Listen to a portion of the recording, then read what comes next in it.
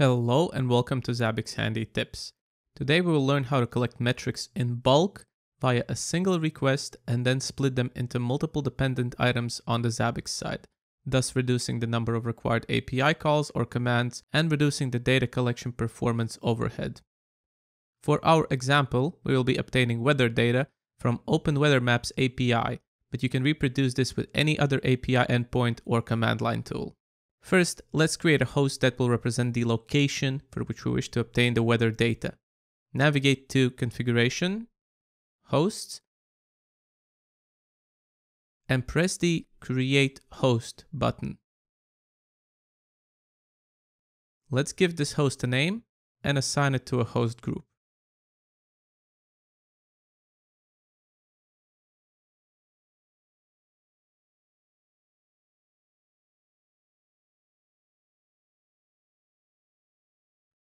We will also have to add an interface to this host since the item that we'll be using to obtain the master data will require an interface. The interface address does not matter in this case, since we will not be using it. Once the host is prepared, click the Add button. Find your host and click on the Items button to open the Items section of the host.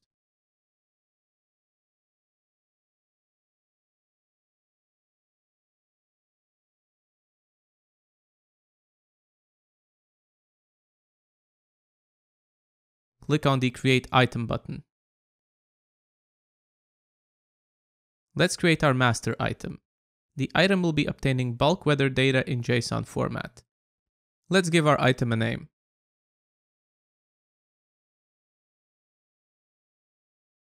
Next, select the item type. Since we will be connecting to an API endpoint, we are going to use the HTTP agent item. Next, provide an arbitrary key and your API endpoint address.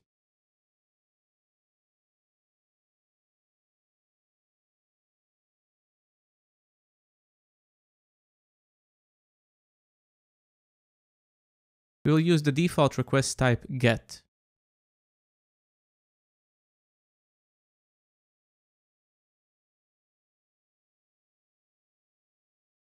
Set the type of information to text and leave the update interval as 1 minute. Now click Add to create the item. Let's take a look at how the collected data is going to look like. We can see that it contains many different metrics and is stored in JSON format. For our example, we wish to obtain the pressure and humidity information. Let's move back to our front end and create two dependent items. Press the Create Item button.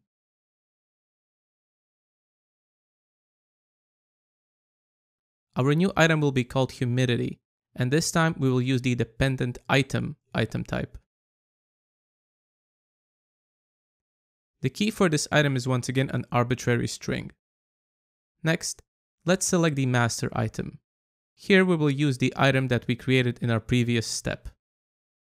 Next, we need to switch to the pre-processing tab so we can define how we're going to extract the humidity information from our master item. We will use the JSON path preprocessing step and define the JSON path string to extract the numeric humidity value from our master item.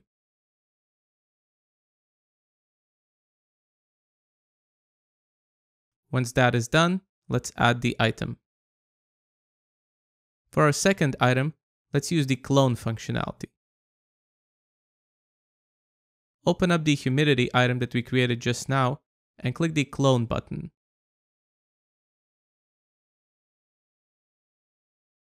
On the cloned item, let's replace the name and the key to pressure, since this item will be collecting pressure information. Then, open the pre-processing tab and edit the JSON path expression, so it points at the pressure value in the master item JSON data. Once that is done, press the Add button. Let's wait for a moment so our values get collected. And then switch over to Monitoring, Latest Data,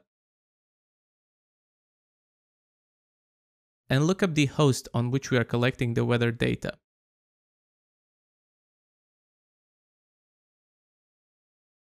We can see that the humidity and pressure information is being correctly extracted from the master item.